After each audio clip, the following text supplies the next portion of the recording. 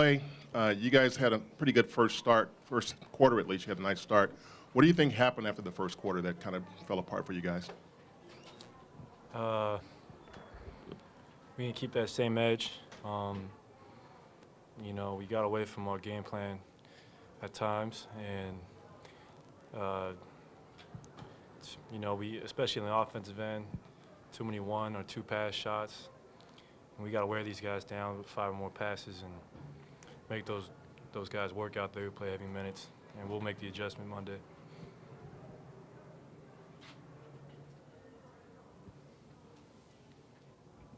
Hey, Klay. Phil Barber, Santa Rosa Press Democrat. Before things kind of got away from you guys, how much fun were you having trading baskets with Damian like that? wasn't that much fun because he was scoring at will. So, I mean, he had a great game. A lot of that's on me, you know. Go up against Steph a lot, so you got to treat Lillard like Steph as far as being 30, 35 feet away from the basket, make him get put it on the floor, give it up, and we let him get too many rhythm threes off the catch tonight and off the off the off the ball screen, and um, that's where he's deadly. So, make the adjustment Monday and play with the same effort, and I'll be good to go.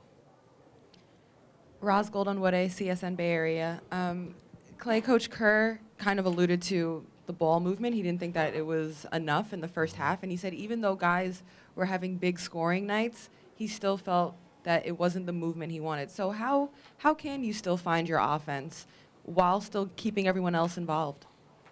Uh, just move it side to side. I mean, I only played eight guys a night, heavy minutes, so you know we got to realize that. I mean, we played nine or ten, and and uh, you know we got to make them work on the defensive end because when you saw it tonight, you know they're hitting threes in the fourth that they might have been missing the last two games, and that's because we were making them work those previous two games, and um,